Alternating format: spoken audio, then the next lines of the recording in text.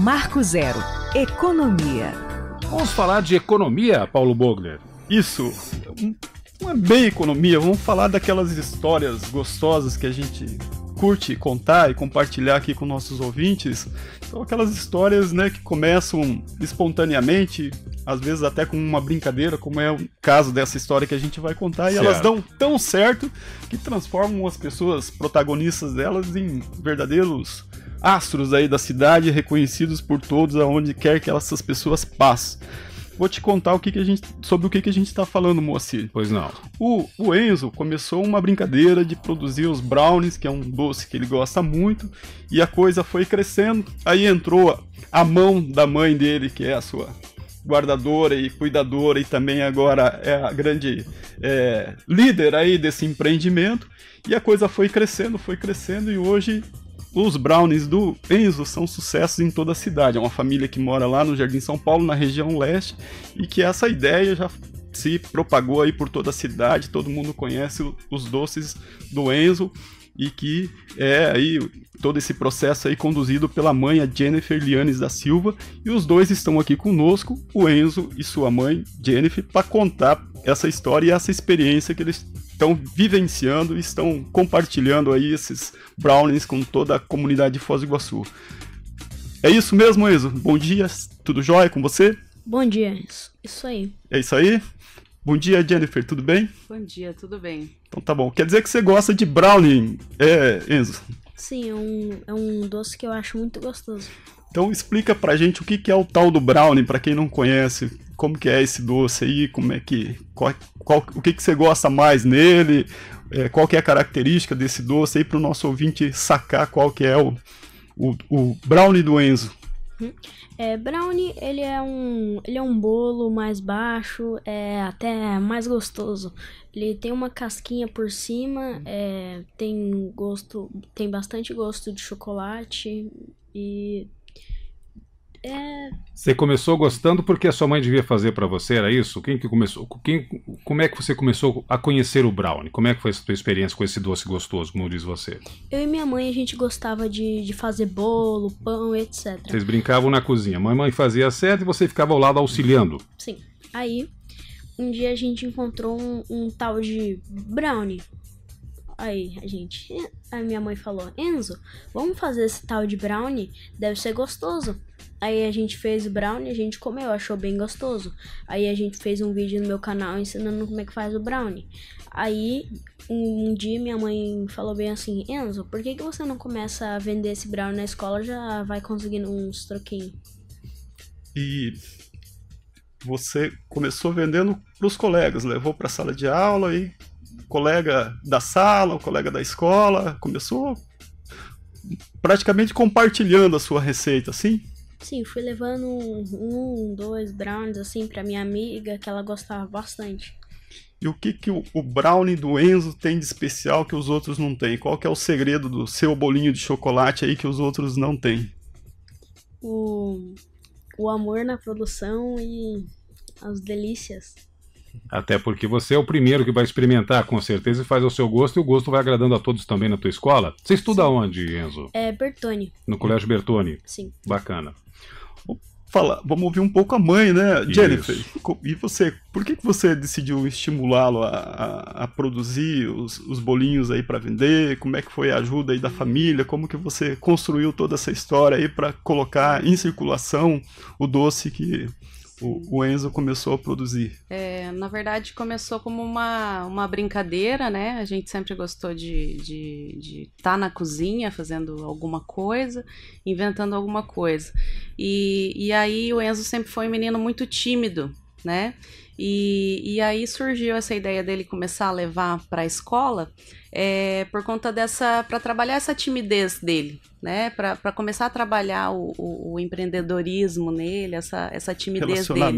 É, e aí eu falei, Enzo, é, é, você tem uma ideia, você tem um produto, você precisa validar esse produto. Né? E aí eu falei, leva uma amostra para os seus colegas. A primeira, a primeira ideia, leva e vê se seus amigos vão querer. E aí ele ficou assim, ah, vamos, vamos ver e tal. Falei, então faz assim, leva para eles, é, é uma amostra e ver o que, que eles vão achar. E aí ele levou essa, essa amostra para validar a receita, né, que a gente já vinha fazendo já há algum tempo, e os colegas adoraram e passaram a fazer encomenda. Então se, se tornou automático, na verdade. Hoje em dia ele, ele nem precisa oferecer, hoje em dia os, os coleguinhas já pedem já e, e, enfim, já ele, ele só atende a demanda, vamos, vamos dizer assim, é, é, continua com a, com, a, com a brincadeira, né? E continua se, se desenvolvendo. Aí depois a gente foi é, é aprimorando um pouquinho mais para ele entender como que funcionava, e aí foi quando eu, eu, eu tomei para ele, para si mesmo, né, a, a responsabilidade de, como empresa, é, depois que ele fez uma, chegou a fazer uma sociedade na escola, uma, uma colega, é, uma colega fazia slime e ele fazia o brownie.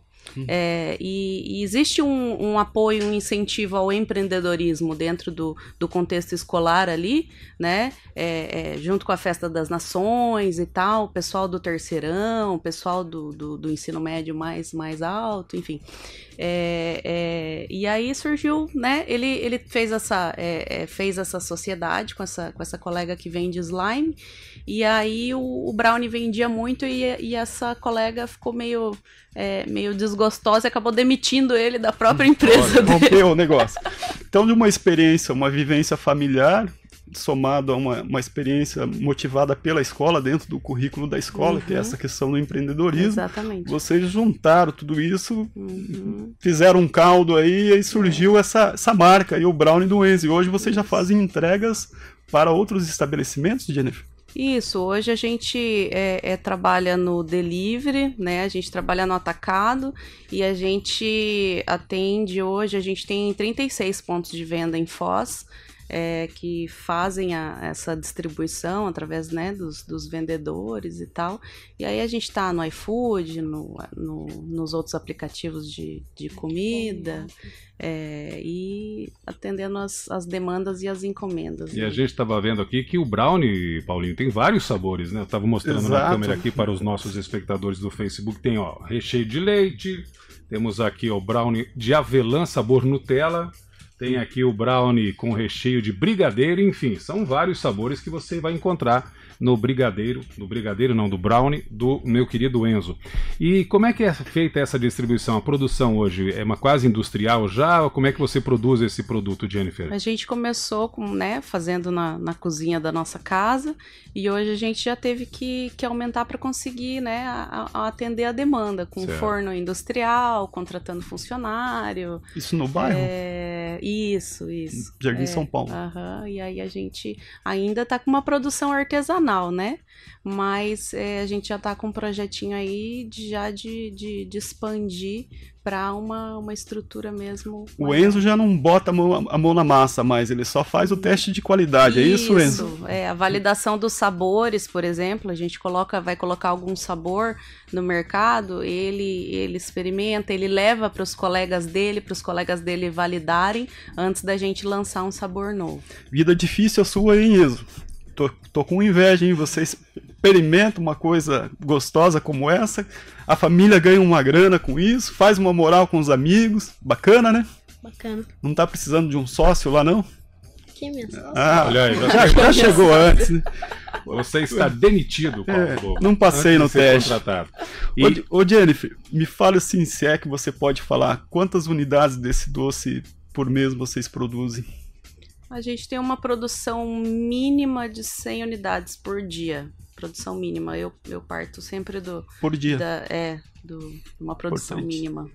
Diga lá, mocinha. O importante é saber o seguinte: vai passar de ano esse ano? Sim. É? Que série você está lá no Bertone? Sétima. Sétima série. Está sendo difícil a vida de estudante ou melhor a vida de empresário? Os dois. Os dois são bons. E qual matéria que você gosta mais? Matemática. Mate... Olha, tá vendo? Matemática, ele já faz o seu, o seu brownie, vende o seu brownie, né? E por Legal. aí vai. Faz alguma coisa você. além disso tudo? Um curso, artes, idiomas? Como é que é seu dia a dia? Como é que é a sua vida aí fora do, do lado empresarial, empreendedor aí, familiar e da escola? O que, que você faz mais? O que, que você gosta de fazer nas suas horas de folga? De vez, em quando, de vez em quando, nas segundas e nas quartas, eu tenho um curso de programação que eu faço. Programação, programação. de computador? Uhum. Bacana. E, e, você virou meio marqueteiro agora da, desse negócio todo, é? Você que faz a divulgação, você ajuda a divulgar, trabalha as marcas, é isso? Uhum. Bacana. Foi para uma outra área. Jennifer, Sim. o pessoal que quer conhecer um pouco mais de perto, tem uma página no Facebook, tem Instagram, ou pode visitar lá a sua cozinha? Como é que funciona? A gente, hoje a gente não tem loja física, né? A gente só trabalha com a, com a distribuição e o delivery. É, a, gente, a gente fala que a gente é um brownie bem, bem online, assim. É, gente, nós somos bem, bem digitais, né? Hoje em dia a era digital aí foi o que ajudou a gente ter o, o alcance também, foi a, a questão digital. É, e aí a gente tá, é brownie do Enzo mesmo. No Instagram, brownie do Enzo, no Facebook, brownie do Enzo, é, a nossa loja no Facebook Face, no, no iFood também, Brownie do Enzo, no Equifome, Brownie do Enzo, é tudo Brownie do Enzo. Então é só procurar lá o Brownie do Enzo vai encontrar os diversos uhum. sabores. Tem algum outro tipo de produção que o Enzo está pensando já, além do Brownie, Enzo? Expandir para outra coisa, além do doce? Um salgado, de repente? Ou você só gosta de, só gosta de Brownie, coisa doce? Antes eu, eu tava fazendo uns cookies. Oh. Só que daí não, não tava dando muito certo. Uhum. Aí a gente voltou só pro brownie mesmo. A gente focou no brownie. Vai ficar no tradicional que é o brownie. Sim. Maravilha. E os próximos passos aí, Jennifer? Tem uma, uma ideia do que partir, do que fazer a partir de agora? Tem outros, outros projetos aí dentro da produção de brownie que você vai tentar efetivar, vai construir aí, ou vai administrar tudo que está tá colocado nesse momento? Isso, a gente está na parte de estruturação de tudo que foi acontecendo, né? Porque foi acontecendo tudo de maneira muito orgânica foi acontecendo é, de, de, maneira muito, né, de maneira muito natural e hoje a gente percebeu a necessidade de se estruturar como empresa mesmo, né? Era uma produção é, artesanal, é, familiar e hoje a gente percebe que a gente precisa se estruturar como empresa, então a gente está focando nessa, nessa parte de, de separar os departamentos aí, né? Separar o, o, marketing do financeiro, a produção das compras. É, então a gente está nesse. Agora a gente está nesse desafio. E o que, que é mais desafiador aí? Ter colocado no mercado, ter tornado essa marca conhecida na cidade? ou tratar dessa parte administrativa da burocracia, de abertura de empresa, agora ah, pensar nesses processos. Com certeza isso, né? Porque empreender aqui no Brasil é, é um desafio muito grande é, para você conseguir hoje uma, uma margem de lucro aí às vezes apertadíssima, né? O, o brownie ele é uma receita cara porque ele leva mais de meio quilo de chocolate por tabuleiro, então é uma, é uma receita bem cara e a gente trabalha bem apertado. Então, é, é, dentre todas as outras coisas, né? Se a gente precisa de, de vendedor, tem tem comissão, precisa de auxiliar, tem, tem, tem, né, tem que pagar a diária do ajudante, e hoje a, o desafio maior é a questão administrativa mesmo, se, se estruturar, porque foi tudo muito novo, né, foi tudo muito, é, é, de repente... É, quanto tempo tem o, o, brownie do Enzo, assim? É, a gente faz brownie Desde o primeiro fazem... que levou no Bertone até a, esse momento? Até hoje, tem dois anos. Dois anos. É, tem dois anos, né. Mas... Hoje você está integralmente disponível para esse projeto? Sim, é, eu, eu tá saí do meu trabalho em. É, eu trabalhei até dia 30 de julho. Foi o meu último dia no trabalho. Antes eu conseguia é, conciliar as duas coisas, é, mas me, me, deu esse clique é, é, que poderia virar uma empresa em abril, quando a gente teve uma demanda de pedido para Páscoa bem grande. E aí eu falei, opa, vamos, né? Foi quando eu, eu fiz as, as redes sociais e tal, e comecei a pensar como, como estruturar uma empresa, procurei o Sebrae, a gente fez os cursos, o Enzo fez os cursos, inclusive, né, também. É, é, e aí a gente começou a pensar nisso, mas integralmente eu tô desde de julho. Legal. Vamos, tem uma pessoa aqui na rádio que só aparece na boca boa. Ah, né? vai ter teste de qualidade é. aqui, é isso? Senhora Clau, bom dia, por favor, vá em frente às câmeras. Né? Pode ficar aí, Jennifer, não tem problema não. Vamos fazer o teste de qualidade porque a senhora gosta. A senhora gosta só da boca boa, senhora Cláudia. É claro. Bom dia a todos os ouvintes da Rádio Clube. Como eu sempre falo, né, no Clube Mulher, que eu trabalho todos os dias aqui na rádio e hoje não é diferente. Estou novamente aqui, mas eu vim para a melhor coisa, que é comer provar Então nós um temos brownie. aqui, eu já mostrei na câmera para os nossos ouvintes, os vários brownies né, do Enzo. Escolha um, senhora Posso Cláudia. escolher? Por favor, Qual que você me sugere, Enzo? Qualquer um? Qual que você gosta mais? Alexandre Palmar também vai comer um brownie. De leite, o de avelã e o de leitinho. Dá para repetir? um- Você tirou o microfone Sim, dele, Cláudio, só um sim. pouquinho. Volta para aí do microfone. Enzo, qual que você me sugere? Eu te sugiro de doce de leite, o leitinho e o de. Não, mas é só um. Enzo. O resto é um, do tio Moa. Avelã? Né? Ah, eu vou de avelã, então. Então vai de é avelã. gostoso. Vamos esse é lá, o meu vamos preferido. provar. Ah, é o O- da mãe É. também. Os ó. outros Esse não aqui. são bons, tá, Claudete? É só esse aqui que, É só, que é mas eu acho que vou gostoso, ter que tá? dar uma mordida em cada um. Não, deles. não, deixa. É muito. É, é, antes do almoço a gente não pode exagerar, assim, sabe? Eu não sou a Ana Maria, mas eu chego lá. Vamos ver então. Teste de qualidade com o formigão da Rádio Clube. Ai, Ô Enzo, você tem delícia. 11 ou 12 anos? 12. 12 anos. Que cheiro maravilhoso. Gente, que missão difícil, Enzo, que você trouxe pra tia hoje. Vamos ver se vai ser bom esse brownie aí. Está aprovado. Hum, e não foi só uma mordidinha. Olha o tamanho da mordida aqui. ó. Era só para provar, não era para devorar o brownie. Muito bem, a Cláudia veio para fazer o teste de qualidade. Enzo, então o pessoal, o pessoal busca você nas redes sociais, no Instagram, no Facebook, e vai ter aí o brownie do Enzo entregue em casa.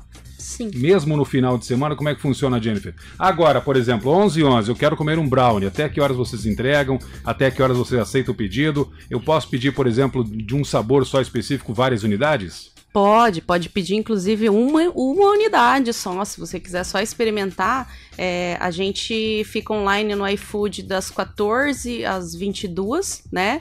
E, e aos domingos das 15 às 20, às 21, depende, né? Depende aí do- da demanda Da e do estoque claro. também, né? A Isso. gente é, tem que ter estoque para atender. Se não tem mais estoque, a gente tem que fechar. Estão pensando em alguma programação pro Natal, Jennifer? Especial? Alguma, alguma promoção? Alguma, algum sabor diferente? A gente tem, é, a gente tá para fazer um lançamento aí, né, de um sabor diferente, mas é um sabor mais gourmet para pro delivery mesmo, que ele tem uma, uma validade um pouco menor. É, e a gente tá trabalhando o sabor bicho de pé, que é Opa. um sabor de morango. É, e aí a gente tá ainda aí na fase de, De teste. de testes, experimentação. Mas já, já tá no mercado? ou Não, ainda não, ainda não. Olha só, pra mim deixar vocês à vontade pra eu poder comer todo o meu brownie que eu queria, né, em relação à nota, não me pediram nota, mas eu vou dar. De- se fosse de 0 a 10, eu daria mil. É uma delícia, é muito gostoso. E eu vou comer todo o meu brownie. Então, como É uma brownie, delícia. senhora Acho que você ganhou uma nova cliente aí, viu, É, com certeza. É isso, Moacir. Era Então isso, vamos então. agradecendo aqui a participação do Enzo e da Jennifer. Jennifer, primeiro você, muito obrigado por vir. Sucesso aí no- nessa sua missão aí junto com a família. Obrigada, agradecer a Rádio Clube aí, agradecer vocês, né, pela, pela força, pelo, pela, pela divulgação e, né, nessa empreitada desse, desse desafio de empreender aqui em Foz do Iguaçu, inclusive, né, que é um desafio bem grande, e no Brasil, e é, um grande incentivo ao ao empreendedorismo é, é, é, em casa, né? É, a gente, tudo que a gente aprende de berço, desde a, a gente às vezes quer, quer, quer delegar para a escola algumas, algumas responsabilidades e, e se a gente começar em casa é muito mais assertivo a gente é, é, começar a, a praticar algumas coisas em casa de, de forma muito sutil, de forma é, bem é, é, lúdica e, e quem sabe toma uma proporção, como aconteceu no caso do Enzo, toma uma proporção é, bem grande. Né? Bacana. Obrigado. Enzo, mas sempre lembrar que você tem que continuar estudando, né? Não é verdade? Profissionalmente, você pensa já em alguma coisa?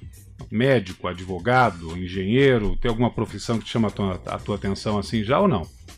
É, eu penso em fazer ou uma rede social, algum game, etc. Nessa na área mais cibernética, podemos dizer assim, né? É o jovem, é o mundo de hoje. E tu tem um canal no YouTube, né? Sim. Como é que chama o canal lá no YouTube? Enzo Experiências. Enzo Experiências. Então lá você posta vídeo diariamente, como é que funciona? É, faz um tempo que eu não posto vídeo. É, mas o pessoal pode conhecer então, Enzo, um pouco mais do seu trabalho lá. E você posta alguma coisa fazendo os brownies ou não? Ou só sim. conversando? Fazendo brownie também? É, sim, eu postei um vídeo ensinando como fazer o brownie. Olha aí, viu? E revelando os seus segredos, Paulo. Legal. Marco Zero, onde tudo começa.